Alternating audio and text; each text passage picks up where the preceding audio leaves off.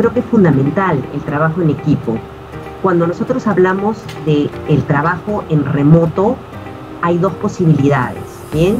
Hay la posibilidad en un área que el jefe establezca relaciones individuales para dar encargos individuales y, digamos, ojalá periódicamente tenga una reunión vía Zoom, vía Teams, vía la plataforma que sea, ¿no? Con todo el equipo para contar en qué está el área o qué está pasando, etcétera. Trabajo en equipo en remoto implica que el jefe a dos personas o más nos dé un encargo común, colectivo, ¿de acuerdo?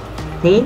Entonces vamos a suponer que eh, nuestro jefe nos cita a Carlos y a mí y nos dice, miren, para cubrir, cubrir esta meta necesito que ustedes hagan esta tarea y nosotros dos hacemos un plan de trabajo y nos vamos a establecer roles para en un determinado plazo entregar esa tarea.